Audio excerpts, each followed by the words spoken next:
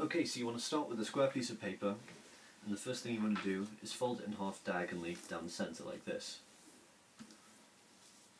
And then once you've folded it diagonally, you want to take the top left and the top right hand points, and you want to fold them down into the bottom centre point.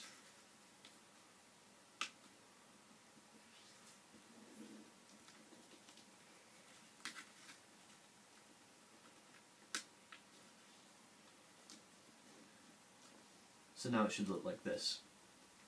Now what you want to do is you want to take these two bottom points, you want to fold them back up to the top point like this.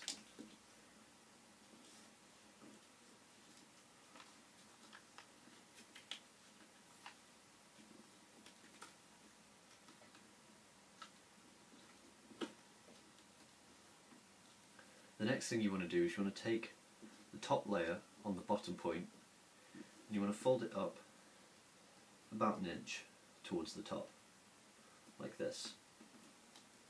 And then once you've done that, you want to take that whole layer and you want to bring it up and fold it back down again, like that. Once you've reached this step, you want to turn the paper over. Now what you want to do is you want to take the bottom left and the bottom right hand sides of this square and you want to fold them into the centre line.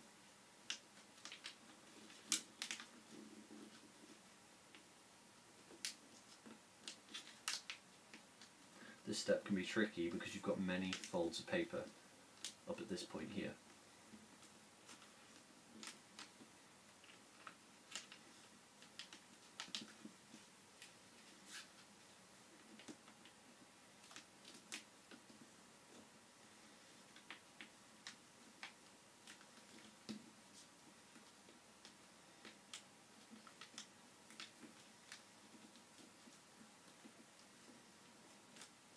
And so eventually it should look like this.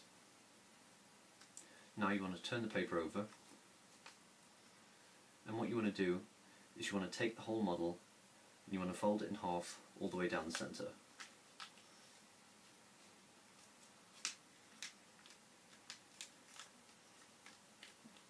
So now it should look like this. Now this end of the model is going to be the tail of the mouse.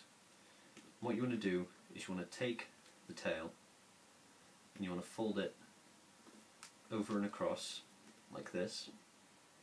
Then you want to take the tail again and fold it back, but you don't want to fold all of it back.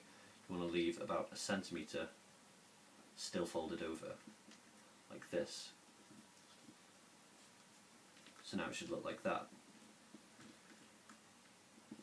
Now what you want to do is you want to unfold that and then open the mouse back up again, like this.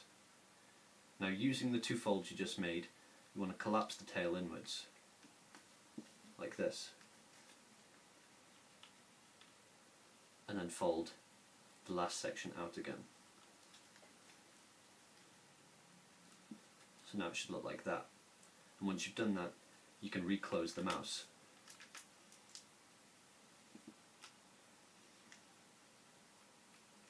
Then you can just adjust the tail afterwards.